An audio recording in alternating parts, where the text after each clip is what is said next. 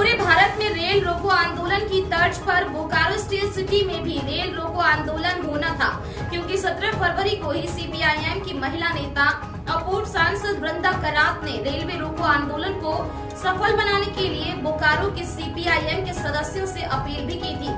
उन्होंने कहा था कि किसान भाइयों के समर्थन में रेल रोको आंदोलन में उनकी पार्टी के सभी कार्यकर्ता उनका साथ देंगे, लेकिन आज बोकारो स्टील सिटी स्टेशन में इस रेल कोई असर नहीं दिखा। आज 12 बजे, दिन 4 बजे शाम तक के लिए रेल रोको आंदोलन होना था, लेकिन कोई आंदोलनकारी बोकारो स्टील सिटी स्टेशन पर नज़र नहीं आया। बोकारो से सच्चिदानंद मिश्रा की रिपोर्ट। नमस्कार, मैं सच्चिदानंद मिश्रा, कैमरामैन नवेंदु कुमार मिश्रा के साथ। इस समय मैं बोकारो स्टील सिटी स्टेशन पर हूँ और दिन के लगभग एक बजकर दस मिनट होने वाले हैं। और ऐसी स्थिति में मैं ये न्यूज़ दिखा रहा हूँ। आज रेल रोको अभियान चल रहा है, लेकिन यहाँ पर बिल्कुल शांति है, कोई भी रेल रोकने वाले नहीं हैं। ये आंदोलन चल रहा है, लेकिन यहाँ पर इस आंदोलन का कोई असर नहीं दिख रहा है।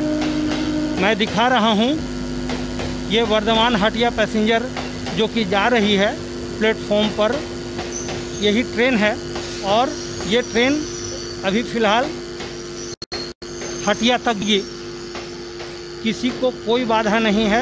बिल्कुल सुरक्षा चाक चौबंद और कहीं से कोई दिक्कत नहीं है। आंदोलन का कोई असर नहीं और कोई भी यहाँ पर रेल रोकने के लिए आगे नहीं आए हैं।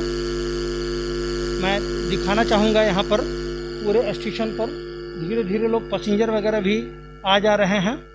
ट्रेन पकड़ेंगे ये लोग और किसी प्रकार का कोई व्यवधान नहीं है।